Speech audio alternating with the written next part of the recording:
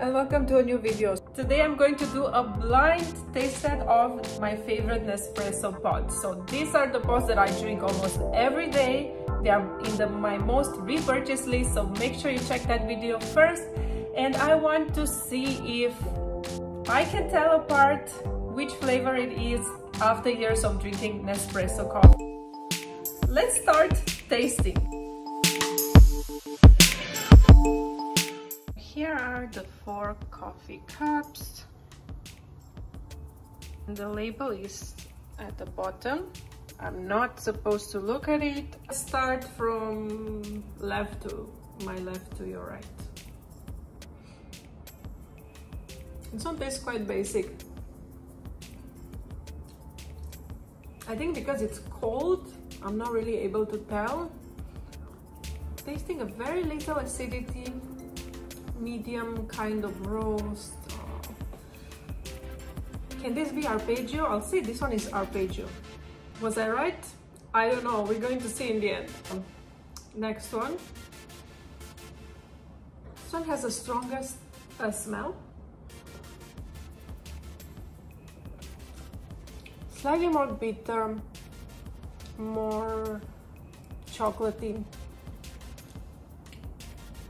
This one could also be arpeggio. hmm. Yeah, I think this is either arpeggio or what's that Starbucks? Mm, Starbucks Verona. Mm, I'm in between these two. I'll say this one is Starbucks Verona because I said this is arpeggio. So let's move on. Hmm, this cup doesn't have any smell. No smell, no taste. Definitely lighter roast than the previous two. The previous two were quite intense. There's no specific flavor, it's just very creamy, very mild. I would say density number six. I think the milk diluted the taste so much that I can't tell what it is. Genova? Genoa? Yeah, I guess something intensity number six. And the final one. Oh, this one has a sweet, sweet aftertaste. Oh, it's nice. I keep drinking it. Mm. It's so delicious. Wow. I like this one the most. What can it be? A very balanced pot. It could be the Ristretto or it could be the Venezia. Hmm. But Ristretto will be more intense, I think. I'll say this is Ristretto.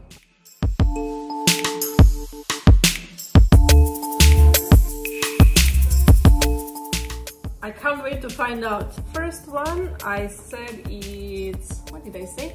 Arpeggio, yeah. Is it arpeggio or is it not? no, it's Istanbul. Oh, you tasted more strong than uh, level 8. Am I surprised? Yes. I thought I was able to tell Istanbul, but yeah, I guess they're quite similar. My second guess was Starbucks Verona. Let's see what this one is. This is Venezia. oh no, I got them all wrong. Let's see if I get this one right. This is Cape Town Lungo. No, I did not guess this. this tasted more mild, but I think it's because it was brewed as a lungo. So yeah, there was a trick. And the final one I said it's Venezia or Ristretto, right? Let's see what is. Oh, that's the Starbucks Cafe Verona. And this was my favorite. Wow. Wow, wow, wow. What a surprise.